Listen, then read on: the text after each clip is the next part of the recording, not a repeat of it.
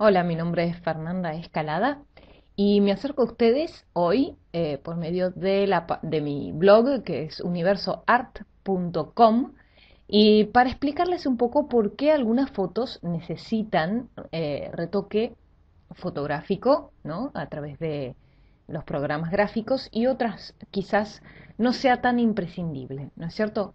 Yo acá tengo a mis modelos, como ven, eh, Diego y em, Diego y Verónica, la cual me contrataron con un book premium para hacerles un book premium que consiste en eh, fotos de estudio, en este caso no era un estudio de fotografía, sino un estudio de danza, em, y eh, con todo el paquete, todo el trabajo que este book requiere.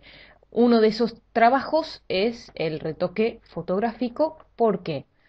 Porque en el caso de Diego, en el caso de ambos, ellos lo que necesitaban era una book, era una foto para trabajar, una foto que, que los pudiera servir para varias cosas.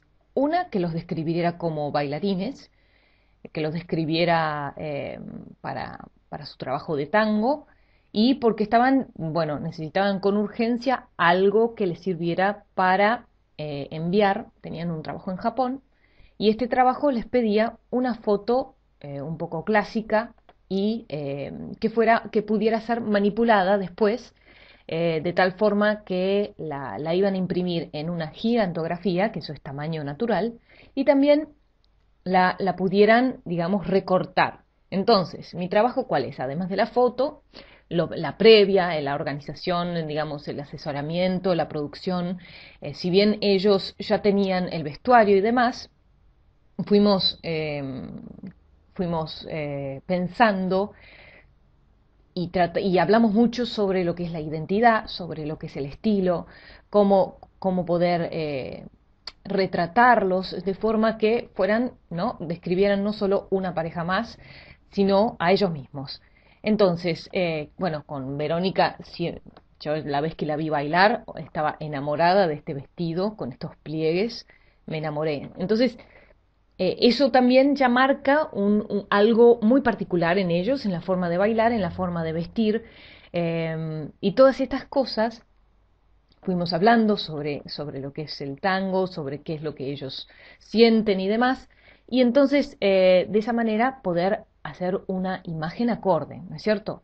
Entonces, lo hicimos acá y, mi trabajo, en primer lugar, eh, yo estaba retocando los retocando las imperfecciones, imperfecciones que a simple vista no se ven, imperfecciones que para un tamaño de impresión pequeña pueden no molestar, pero para una gigantografía o para tamaños mayores a lo que es eh, una 4, que una 4 es una hoja de impresión común, una impresora de hogar, para ese tamaño no, no es imprescindible, ¿no? No es imprescindible, no es quizás necesario. Quizás una 4 ya sí, porque es el tamaño de una revista, ¿no? Y si lo quisiéramos, si quisiéramos una imagen eh, perfecta de revista, entonces sí hay que eh, hacer ajustes.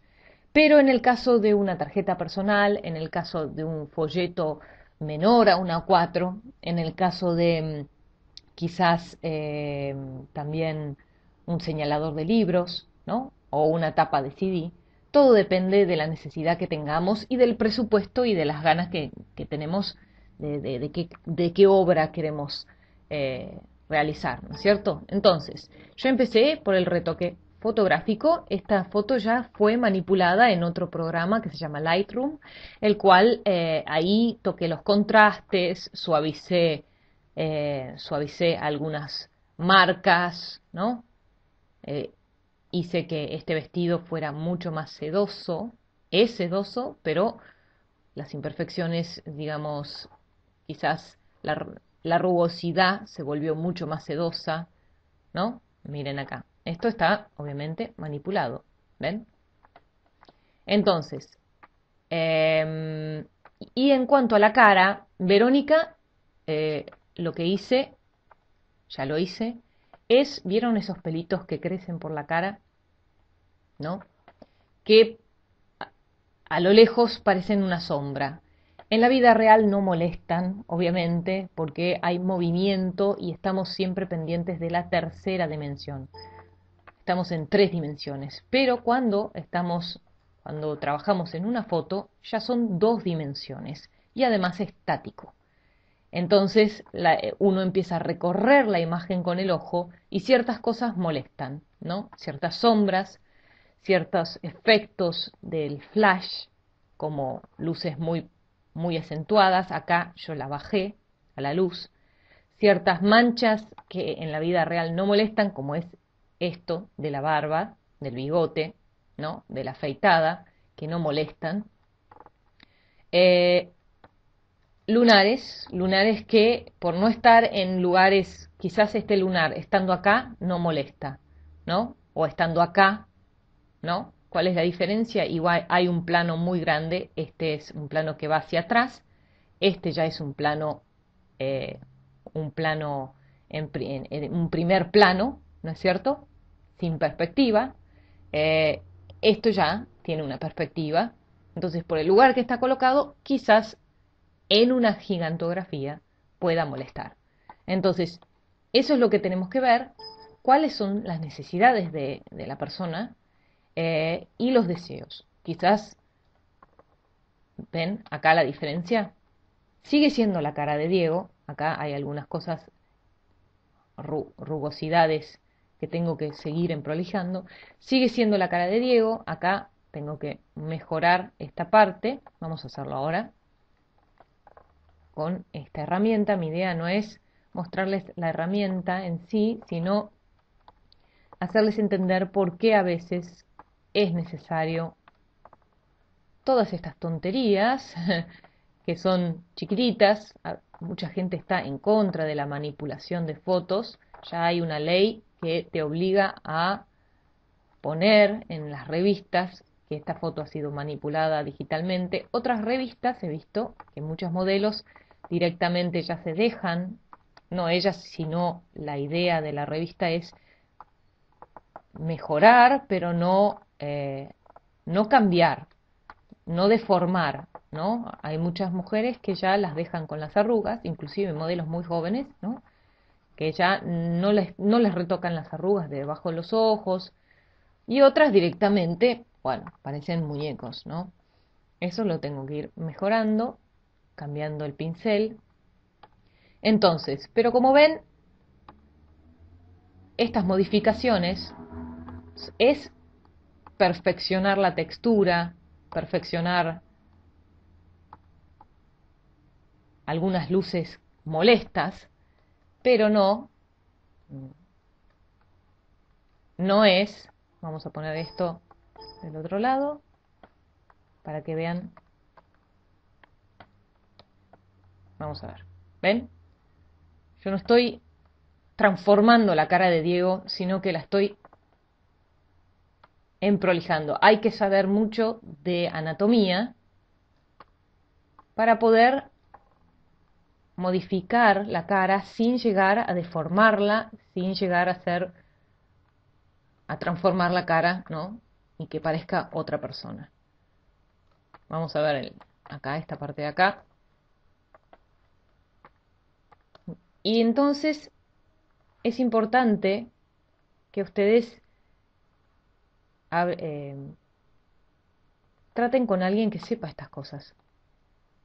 Además de todo esto, que esto, bueno, cualquier persona que sepa de retoque, que maneje Photoshop, lo puede hacer. Esto no es la parte que a mí más me entusiasma hacer como artista plástica. Esto es lo mismo que restaurar. Esto sería restauración, ¿no? Em, pero lo que a mí más me entusiasma es la creación de una imagen personal, de una imagen que describa y que destaque, porque el arte se trata de destacar, el arte se trata de identidad, de destacar a las personas. Mi idea con cuando hablé con Diego y, y, y Verónica, lo que yo quería era producir una imagen, bueno, que dentro de sus necesidades, que eran presentar una foto de tango que, eh, que, fuera más estilizada, más estética. Mm, me refiero a que el tango para mí no es, esto podría ser quizás un ballroom, ¿no es cierto?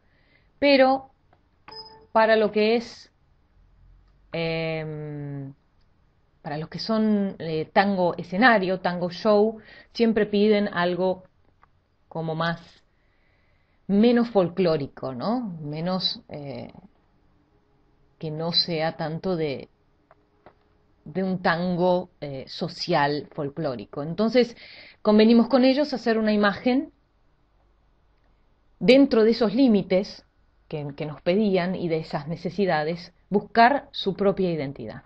Entonces, aparte de eso, yo les hice diseños que tienen que ver, acá por ejemplo, esta pose es mucho más,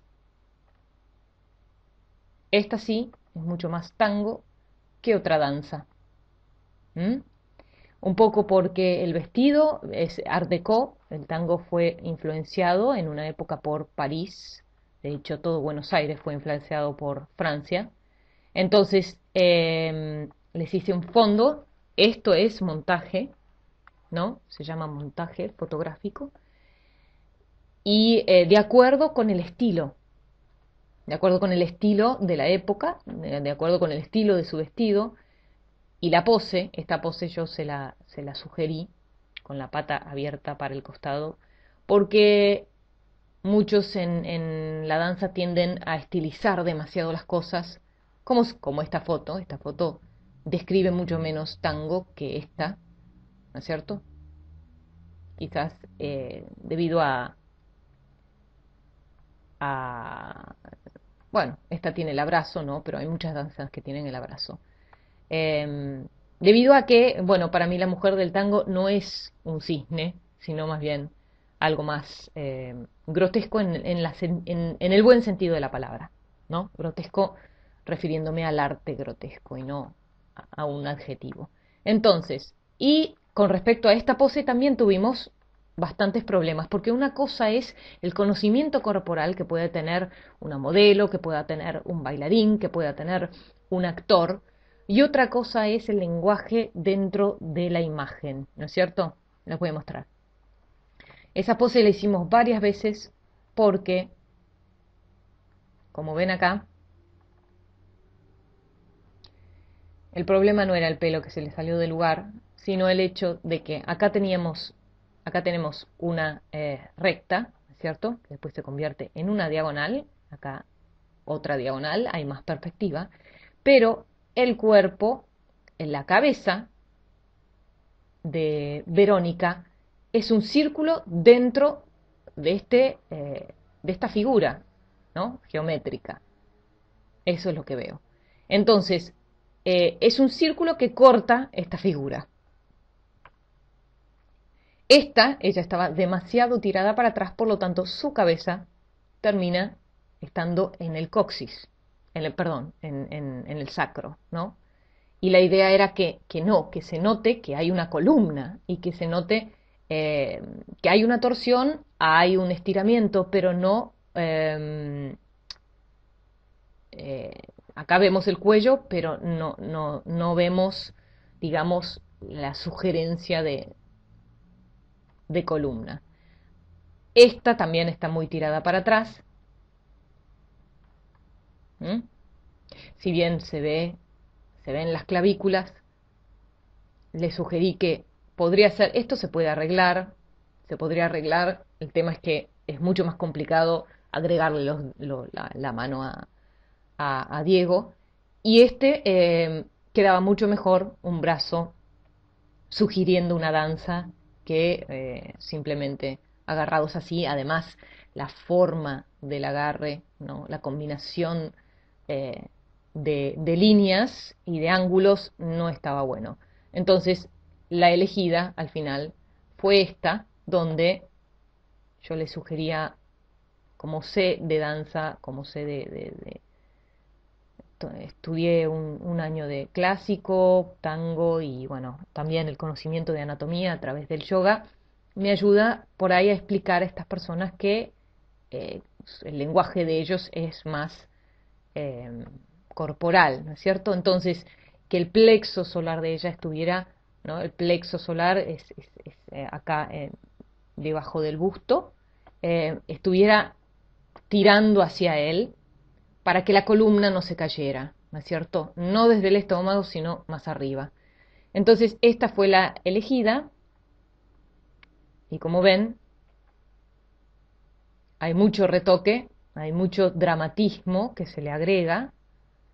Y después, después termina en algo así, ¿no? Con fotomontaje y la parte de diseño gráfico esta es otra que hicimos, que también les costó mucho la postura, porque ¿no? Como hacer una postura difícil y parecer relajado es complicado.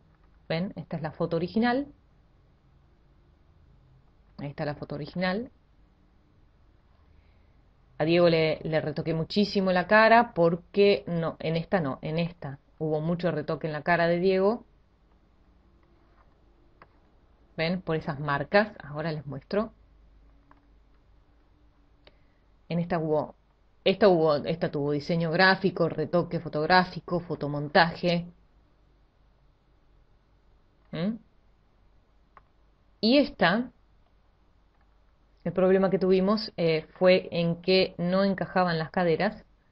Ah, bueno, me fui de, la carpeta. Les quería mostrar las veces que le hicimos y que no, que no funcionaba. Primero se resbalaban en el piso. ¿Mm? Y Verónica, por la tensión, por la fuerza que necesitaba para sostener esa pierna, para estar agarrado a Diego, ¿ven? Ella no conseguía y ponía mucha tensión. ¿Dónde está la otra? Vamos a ver. Acá están. Mucha tensión en la cara. Me encanta esta chica, me encanta. Mucha tensión en la cara, los ojos no se le veían y, con ese tamaño de pestañas, sostener esta pierna sin ayuda de él, aunque ahí está apoyada, todavía faltaba encastrarse mejor para que directamente estuviera relajada, ¿no? Hay que buscar, son posturas muy difíciles. Esta lo logró, que además le sostenía el brazo, eh, le sostenía la pierna, acordamos de que sostener la pierna iba a ser mejor. Y esta fue la elegida, que además de sostenerle la pierna, ella estaba acomodada en su cadera, en la cadera de Diego, de tal forma en que el torso, la parte superior de, su cuerpo, no tenía tensión. Y esa fue la elegida que terminó siendo esta. A ver, ábrete, ábrete. Esta. Con también ardeco atrás, la manipulación del color de, su vestido. Entonces, espero que esto les sirva para que puedan entender todo el trabajo posterior a una fotografía y anterior, ¿no es cierto? Porque no es solo el conocimiento de cómo sacar una foto, sino yo brindo también todo el conocimiento del arte, de la creación de identidad.